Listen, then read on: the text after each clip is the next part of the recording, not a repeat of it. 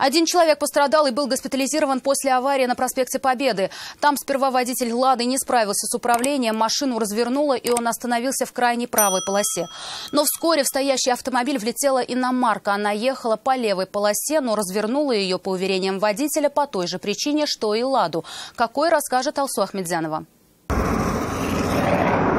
Колея на проезжей части, уверяют водители, и стала причиной аварии на этом участке дороги. Скорость, говорят, не превышали. Первой жертвой неровного асфальта стал водитель «Лады Приора». Он не справился с управлением и машину развернуло на 180 градусов. В таком положении автомобиль и остановился в правом ряду. Вскоре именно в это же место откинула Hyundai Creta. Иномарка двигалась по крайней левой полосе.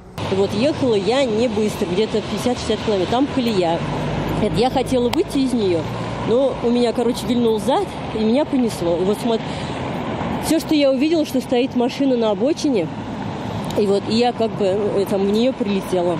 После столкновения иномарка откинула «Ладу» в сугроб. В этот момент водитель отечественной машины сидел не за рулем, а на пассажирском сидении. Именно в это место и пришелся основной удар. Ну, он сказал то, что когда я в него прилетела, он выходил с этого, с пассажирского сидения выходил. Его увезли в больницу? Да, скоро его забрала. Ну, он сказал, что ноги у него там прижали. Степень вины обоих водителей определят теперь автоинспекторы. Будут ли владельцы машин добиваться проведения экспертизы дорожного полотна и возлагать ответственность на организацию, отвечающую за содержание дороги, они пока не решили. Алсов Медянова, Айрат Назипов, Константин Бушуев. Вызов 112.